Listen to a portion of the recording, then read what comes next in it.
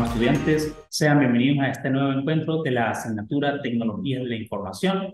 En esta nueva oportunidad nos encontramos nuevamente para seguir y darle continuidad al estudio de esta unidad curricular o de esta asignatura. Para este caso, pues vamos a ver la unidad número 3 titulada Tecnologías de la Información, Tecnologías o Teleinformática y Comunicación. Vamos a definir primero lo que es la teleinformática, eh, hablando en términos generales, pues lo que es la comunicación. Vamos a empezar primero con la parte de la teleinformática. Para la teleinformática tenemos lo siguiente. Es la técnica utilizada para la transmisión de todos los datos de computadoras o redes que se encuentran a distancia con la finalidad de intercambiar información o cualquier otro contenido que se desee. Para llevar a cabo este proceso es obligatorio utilizar las telecomunicaciones vence a través de un proveedor de servicio telefónico o cualquier otro medio que pueda ser utilizado para transmitir o cualquier, cualquier información. ¿Qué quiere decir esto? La teleinformática viene siendo pues aquella área o aquella transmisión de información o aquella transmisión de datos entre equipos, entre computadores utilizando redes informáticas. Pueden ser de repente redes LAN, redes WAN, eh, por allí, eh, pendiente con ese término, red LAN, WAN. ¿Por qué? ¿Qué sucede con este tipo de redes? Eh, por allí va a estar la actividad, así que pendientes. Eh, con el aspecto de las redes, las comunicaciones a través de las redes informáticas se hace la transmisión de datos de un lado a otro. Es decir, puede existir comunicación y transmisión de información en tiempo real. Es decir, de tiempo en, instantáneamente, es decir, momentáneamente. Nosotros a través de Internet realizamos esta comunicación, esta transmisión de datos en tiempo real. La teleinformática está presente siempre en la Internet. Cuando hablamos de comunicación, podemos decir que es la transmisión de información entre dos o más individuos. Todos los seres vivos presentan alguna forma de comunicación, ya sea señales químicas, sonidos o gestos. Sin embargo, las capacidades para transmitir significados complejo a través del lenguaje distingue a la comunicación humana de otras formas de comunicación animal. Ok, observen lo siguiente. Cuando nosotros hablamos de la comunicación, eh, estamos hablando en términos generales de que tenemos una comunicación de repente entre una o más personas. Es decir, eh, hablando de términos generales, la comunicación en tiempo real puede ser de repente una conversación, una clase, una discusión, eh, de repente un foro, en fin, cualquier tipo de comunicación en tiempo real. Pero también cuando hablamos de la teleinformática con la comunicación, se refiere también cuando nosotros comunicamos, nos transmitimos de repente por medio puede ser de un video, por ejemplo, lo que estoy realizando en este momento, en esta clase, es una comunicación a través de un video que puede quedar grabada dentro de la plataforma institucional, pero a su vez se está dando una comunicación, se está utilizando a la teleinformática y a la comunicación. Otro tipo de comunicación, pues, por ejemplo, puede ser eh, Zoom, cuando se realiza una reunión en tiempo real, de repente con personas que están conectadas a una gran distancia. Pero la red de redes, o mejor dicho, la Internet ha acortado esta distancia y permite que esta comunicación sea en tiempo real y que tanto ambos participantes, como por ejemplo el ponente y los participantes, puedan tener esa interacción y puedan tener esa dinámica. Otro ejemplo claramente, recuerdan aquellas épocas, incluso pues todavía lo podemos tener aquí en estas clases, eh, pero más que todo se aplicaba mucho, era en el tiempo de pandemia, cuando era obligatoriamente pues el tener este tipo de encuentros a distancia, encuentros vía internet, muchas de las instituciones a nivel mundial, no solamente que en Venezuela, se dio este tipo de eh, clases virtuales. A nivel mundial, pues, muchas escuelas, eh, colegios, incluso institutos universitarios grandes universidades tuvieron que emigrar a lo que fue el trabajo digital, el trabajo en casa, a distancia, e incluso utilizando lo que eran las herramientas de Zoom y otras más. ¿Ok? Esto es básicamente lo que hablamos de teleinformática y comunicación. Ahora sí, para hablar un poquito más allá de lo que es nuestra teleinformática, ok, tenemos que la teleinformática tiene una gran historia, tiene una cronología, vamos a trabajar o vamos a hablarla por medio de esta línea de tiempo. Si observamos aquí, la teleinformática, antes de que se llamara así o se le dijera como telecomunicaciones, comenzó en el siglo XIX, más en 1830, imaginen aquella época, prácticamente en el año que murió Simón Bolívar, en 1830. Eh, por lo menos en 1830 se da por primera vez el telégrafo, se introduce el concepto de codificación. Recuerden que el telégrafo era aquella máquina o aquel dispositivo electrónico que permitía que la información se transmitiera a través de una serie de, bits o pitidos que tenían un significado de repente para pedir una ayuda, comunicar una información, de repente la cantidad de bits, eh, la cantidad de sonidos, incluso la cantidad de, de presión que se le daba al bit prácticamente por aquella persona que comunicaba esta información, tenía un cierto significado. Incluso en aquella época tenían un libro donde tenía el significado de cada uno de esos pitidos, de esos bits. Eh, en 1874 eh, aparece el telégrafo múltiple, un telégrafo mucho más avanzado. Quien lo creó fue Emily Berman, que fue nuestro prácticamente un precursor de esta teleinformática o la telecomunicación.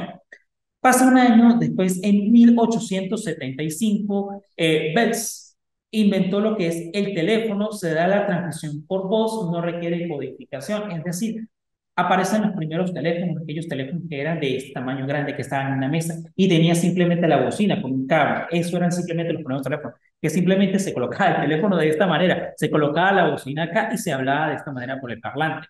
E incluso en aquellas épocas se tenía que hablar en voz alta porque las comunicaciones estaban dando sus primeros pasos, estaba comenzando eh, la telecomunicación. Pasamos después casi unos, eh, digámoslo de esta manera, unos 50 años eh, más adelante, la telecomunicación fue definida por primera vez en la reunión de la Junta de la eh, conferencia número 13 de lo que fue el UTI. El UTI de repente aquella unión o aquel este, comité que se encarga de lo que son todas las telecomunicaciones. Definieron por primera vez a la telecomunicación, claro, en aquella época no se le llamaba Comité de Telecomunicaciones, tenía otro nombre, de repente Comité de Comunicaciones Universales, en fin. Pero por primera vez se da esta definición de telecomunicación, se comienza a definir qué es la telecomunicación, ya que recordemos que para 1932 eh, ya han pasado más de 100 años desde aquella primera vez que se introdujo el telégrafo, se introdujo la codificación por mensajes. Seguimos avanzando a 1950, donde comienza a aparecer los modems, se da inicio a la transmisión de datos entre computadores. Es decir, ya va después de la primera generación de computadores, se comienza la conexión entre redes, prácticamente es la red DARPA o la red este de todo referido a lo que es la comunicación eh, vía internet, eh, pero la utilizaba era más que todo los ejércitos, especialmente el ejército de los Estados Unidos. En esta ocasión era quien utilizaba la comunicación de datos, más que todo esto sucedió durante el conflicto llamado, un bueno, no llamémoslo conflicto bélico porque nunca se dio ni siquiera un disparo durante la Guerra Fría. Prácticamente este, este conflicto bélico entre la Unión Soviética y Estados Unidos se le llamó Guerra Fría por ese término, porque nunca se dio un disparo, simplemente es yo tengo esta arma, pues una más grande. Yo tengo esta red de comunicación, pues yo voy a construir mi red de comunicación mucho mejor. Así tú, incluso hasta llegar a la competencia de lo que fue eh, la carrera espacial que concluyó pues en 1969 con la llegada del hombre a la luna por parte de Estados Unidos.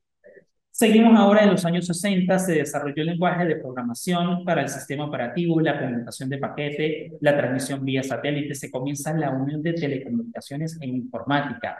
En los años 60 se dan eh, los primeros despegues. Vuelvo a repetir lo que acabo de decirles. Eh, durante la Unión Soviética, durante este, esta Guerra Fría con Estados Unidos, ambos bloques, tanto el bloque soviético como el bloque capitalista, ellos pues buscaron que su carrera armamentista o su carrera tecnológica llegara al punto de lanzar incluso satélites a la órbita de la Tierra para tener mayor comunicación. Incluso se dieron el tema de los satélites de por parte de Estados Unidos por parte de la Unión Soviética.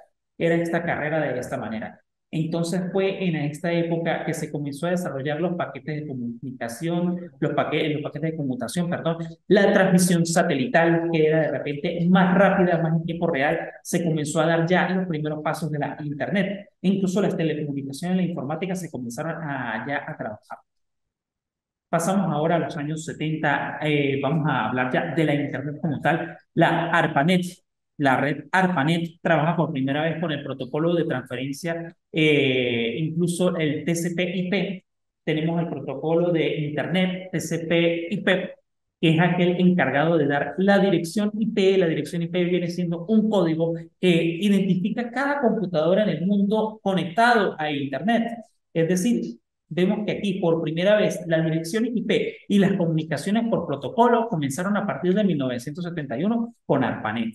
En 1974 eh, comienza lo que es de las primeras arquitecturas de redes, es decir, las redes como las conocemos hoy, en día, IBM es quien da las primeras arquitecturas.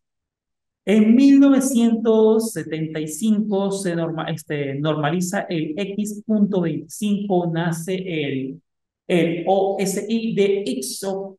Este sistema operativo nace para poder mantener las comunicaciones, llegar a un avance mucho más tecnológico. En 1978 aparecen las primeras redes de área local. Ayudo con esta parte. La red de área local LAN aparece en los primeros servicios de valor agregado, es decir, aparecen las primeras compañías eh, de ya comunicación de paquetes, comunicaciones de vía en tiempo real, primeras comunicaciones telefónicas, las primeras empresas telefónicas empiezan a aparecer, ya empiezan a aparecer las comunicaciones de área local. En 1980 comienzan a aparecer las redes digitales, voz, videos y datos, que todo puede ser en Estados Unidos, en las grandes potencias, por lo menos ya estaban comunicándose a través de video, voz, pero en los años 80. E incluso se trabajaba por medio de computadores MyFrame, computadores tan grandes que de repente como su salón, que para poderse conectar a la red de Internet se necesitaba grande procesamiento de datos e incluso grandes procesadores. Incluso los primeros microprocesadores, que eran más o menos de este tamaño, eh, empezaron a aparecer. Eran un chip así de grande y así de largo más o menos.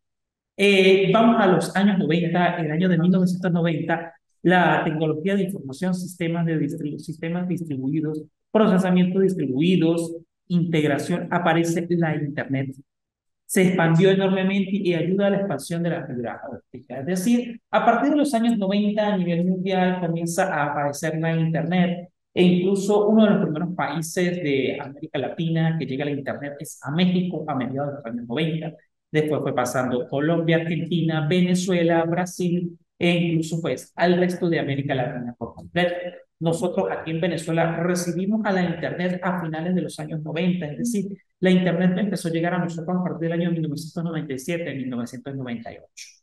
Pasamos al nuevo milenio, en los años 2000, comienza la interconexión total a la cónyuge de las, de las telecomunicaciones a través de todo uso de tipo de dispositivos que son cada vez más rápidos, más compactos, más poderosos, multifuncionales y también de nuevas tecnologías de comunicación inalámbrica y las redes inalámbricas. Es decir, estamos hablando del año 2000 hasta el año 2003.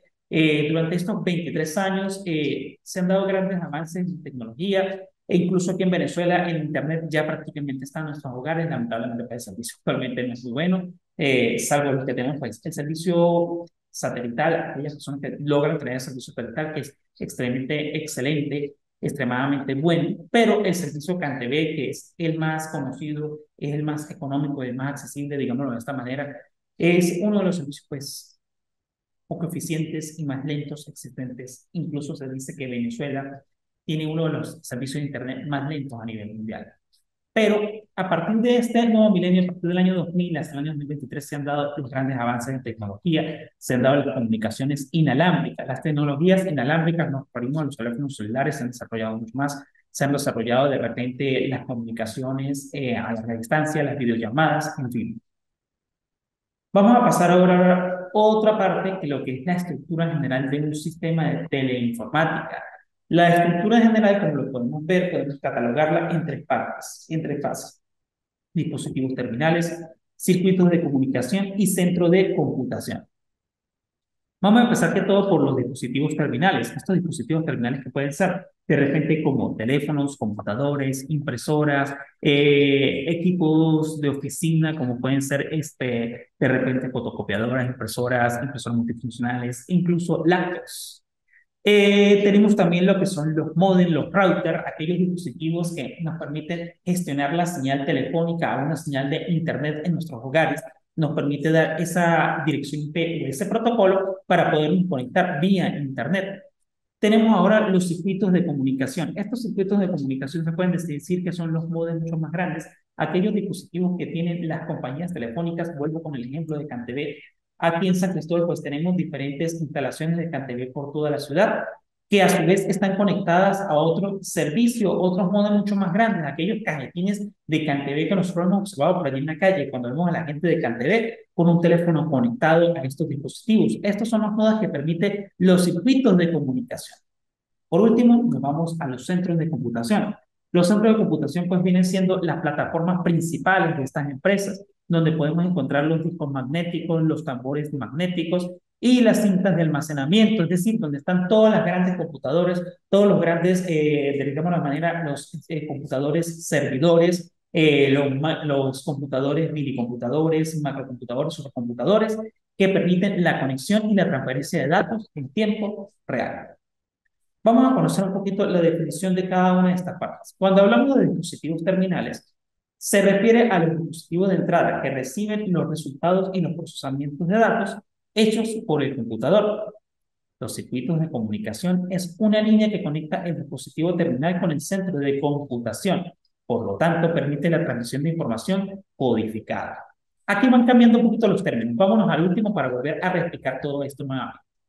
El centro de computación procesa la información recibida del dispositivo terminal, de acuerdo con un procesamiento predeterminado, y lo vuelve a transmitir al dispositivo terminal. Es decir, observen lo siguiente. Primero que todo tenemos el centro de computación. Su información se puede desplazar a los circuitos de comunicación y a su vez a los dispositivos terminales.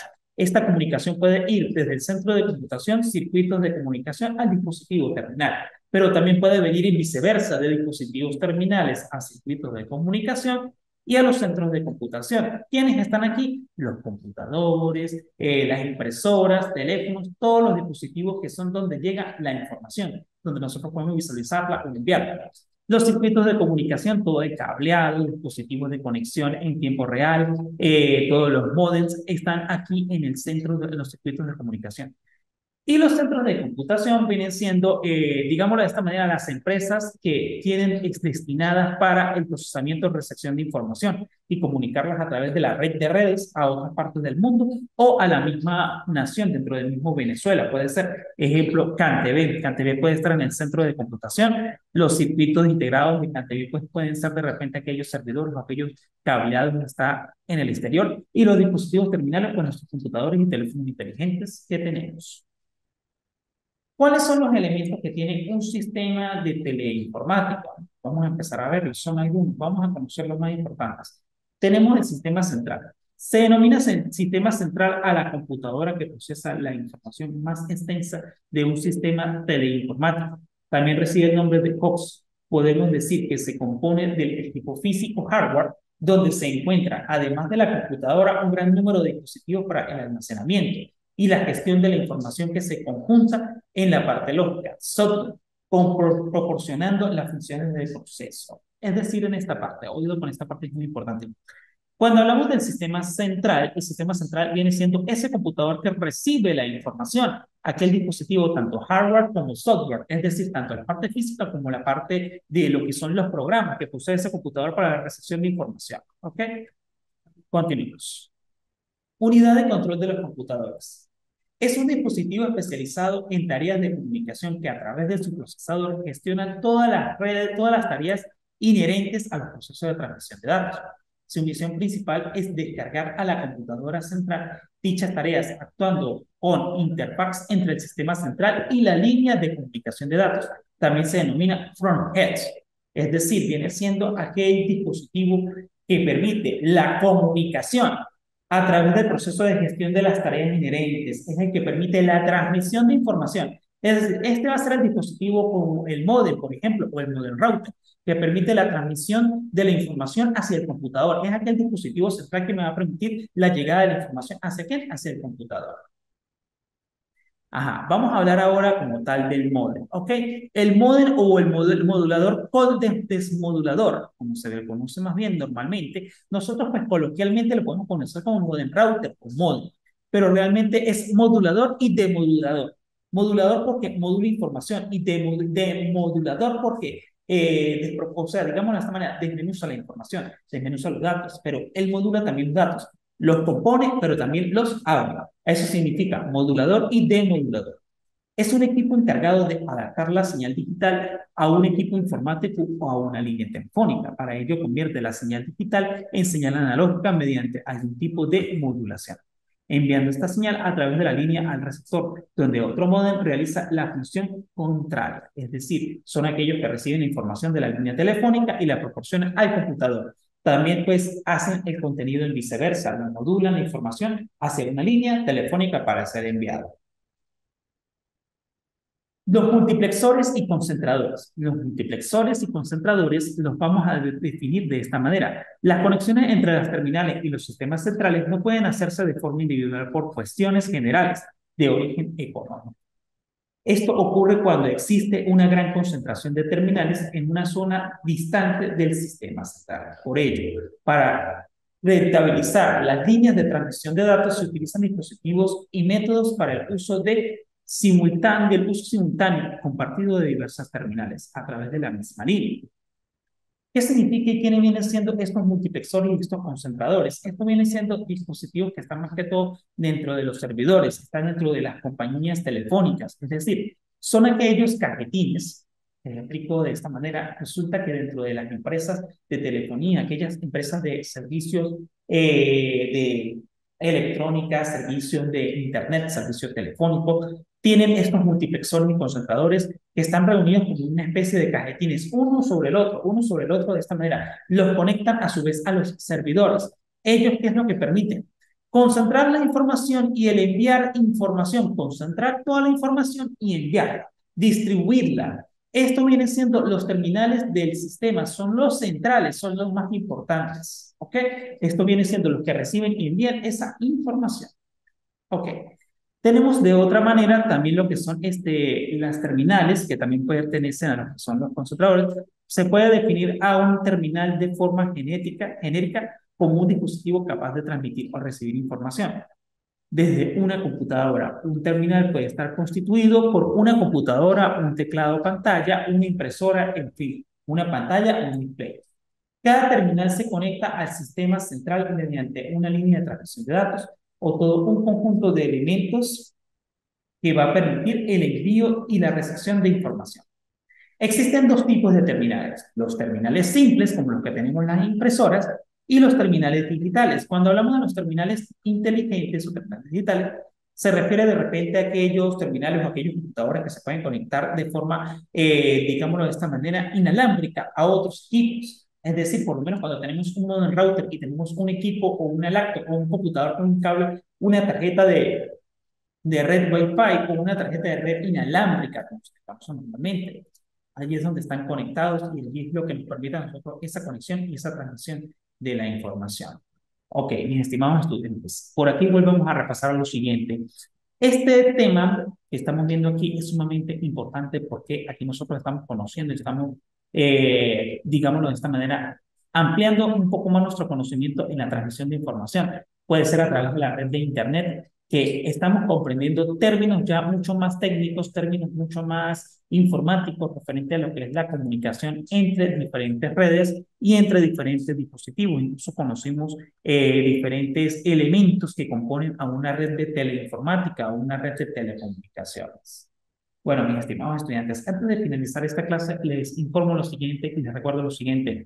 Eh, la plataforma va a estar disponible esta presentación eh, para ustedes como material de apoyo y también va a estar disponible la actividad eh, número 3. Esta actividad número 3 va a tener pues una duración hasta el domingo 26 de marzo, tal cual como está estipulado en nuestro calendario. Eh, les agradezco, por favor, lean muy bien el material, analicen el material, pero también revisen muy bien la hoja de trabajo, lean muy bien qué se les está pidiendo, qué actividad se va a desarrollar allí. Cualquier duda, pues estoy a la orden por la plataforma, pueden hacer las preguntas que ustedes deseen y a medida de lo posible, pues estaré contestando sus preguntas. No me queda más nada que decirles, sino despedirme de ustedes, que tengan una feliz tarde, nos vemos en una próxima oportunidad.